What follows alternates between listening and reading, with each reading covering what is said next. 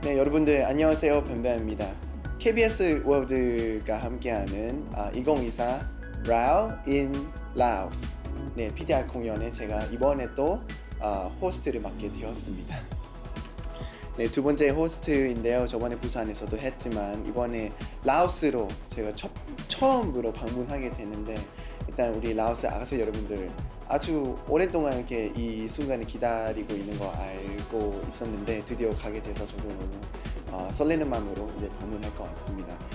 그리고 이번에 호스트뿐만 아니라 공연도 제가 하게 되었는데 네, 어, 뭔가 라오스에서 첫, 첫 공연이라 너무 재밌을 것 같습니다. 여러분들 반응이 어떨지 너무 궁금하고 네, 그래서 우리는 이제 11월 2일, 3일 라오스에서 만날 수 있습니다. 꼭 많이 보러 와주세요. 감사합니다.